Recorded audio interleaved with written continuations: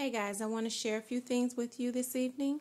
Um, I'm going to try and be really quick. Um, someone's in my ear saying I need to um, be making some QT time, so I'm going to do this real quick. So I went to Publix yesterday. The deal is not on, but I wanted to say um, something about overages.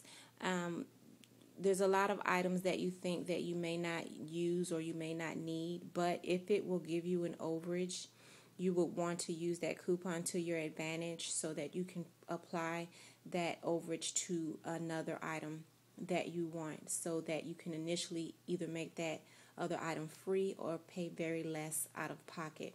I do not have a cat.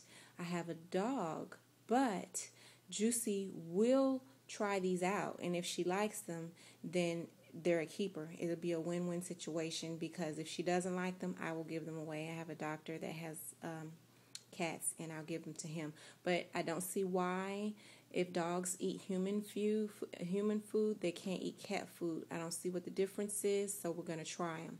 We got to improvise here. So, I'm not seeing any deals on no dog treats. So if this is what we got to do to get some treats around here, then she'll be eating some cat food. But these were 88 cents a piece, and I had a dollar um, coupon making these um, about a 12, maybe 15 cent, I don't know, yeah, 12 cent overage. All six of these came out to be a dollar overage, and I applied them to the Carefree panty liners they were a dollar seven and i had a coupon for 50 cents that doubles to a dollar making um, these seven cents a piece but I used the overage for the cat treats to pay for the panty liners so that my out of pocket expense will be very little. So I, they owed me 21 cents, but after they applied tax and reduced, uh, when they took the 21 cents off, my total out of pocket was 32 cents. So for the cat treats and for the panty liners, I only paid 32 cents. I did this video yesterday about the One Touch Delica Lancet devices. The coupons are available on smartsource.com. So if you haven't seen that video, check that out. So I'm not going to go too much into that. Just see that video and it and it'll tell you everything that's going on with that um, coupon. Um, I had some register rewards that were expiring that I wanted to go ahead and uh, roll them over to some other deals. Um, I did not need razors, but because the register reward was getting ready to expire, I wanted to get something that was going to give me some register rewards back so I just wouldn't absolutely lose them at all.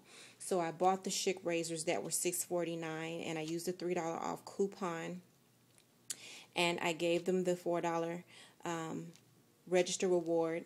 I had to use the uh, uh, holiday bags as a filler, so I got six of them. So after everything was applied, I only paid 52 cents out of pocket for the Schick razors and the six bags, okay? And then I got $2.50 back.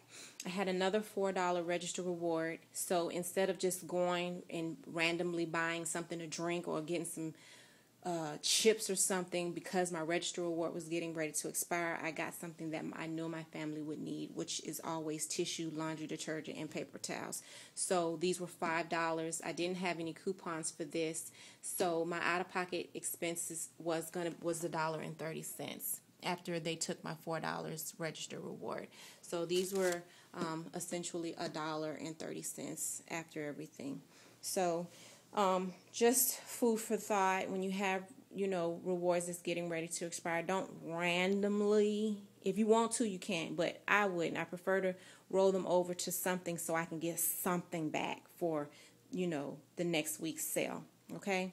Um, really quick, I saw this video on savingwithveta.com.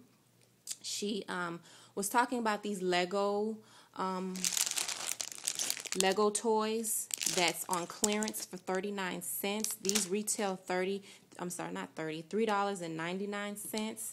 So I got 9 of them and they were 39 cents a piece. So I paid $3.51 for these Legos. And we're going to do gift bags. So I'm not going to say we're. I'm going to do them cuz he's not.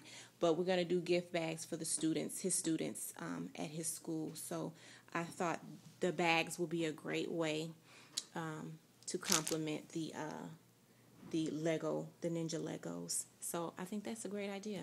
So right here, I was actually printing coupons off of Target.com, and I saw a video of Miss May. She actually purchased eight of these as well. These are the uh, nightgowns, the camisole night shirts. They're on clearance for $2.98. I printed eight coupons and I got eight of them. Um, and when I found out that they were actually on clearance, because I did not know, I just felt that three dollars for some nightgowns, and I know they always have clearance items that maybe I can walk out with paying not too much. But then her video came, and then she said they were absolutely free because they were two dollars and ninety eight cents. So I got eight of them, and I used my three dollar off coupon, and I paid zero, no tax, no nothing. I just walked out of the door with these. And so I'm going to keep three of them. This is how they look. I'm going to keep three of them for myself because someone said they tired of seeing me in those old long nightgowns. So maybe this will spice it up a bit. So I'm going to keep three and I'm going to do gift bags for the nurses at work, do some body soaps, you know, some lotions and make some little gift bags out of the other ones that I have. So this is a great stocking stuffer, a very inexpensive um, Christmas Christmas gift. So not, not not too much going on, but you guys go ahead and check that out on Targets.com because the printables were still available today. There are a lot of these on the clearance rack. There's other items $4, $6, just depending on what your taste is, what you prefer. But, you know, as I always say, I prefer what's 50 cents and under, and free is what's best for me. So, you guys have a wonderful evening, and I will see you guys on another day. Bye.